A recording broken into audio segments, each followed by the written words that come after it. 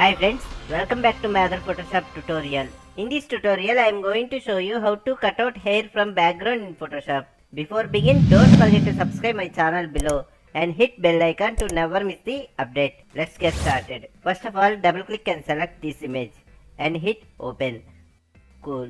Now take quick selection tool and hit on select subject on top.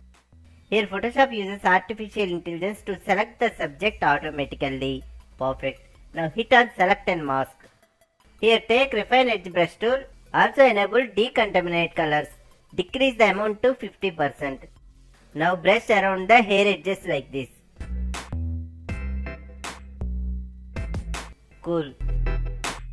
Change the view to black and white. Now take the quick selection tool.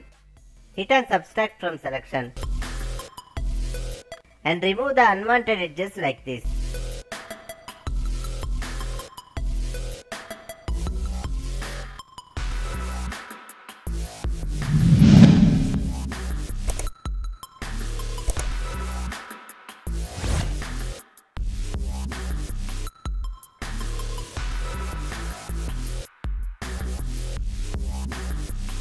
Press OK. Cool.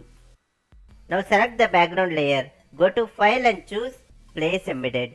Here select the colorful background image and hit Place. Hold Alt button and increase the image size like this.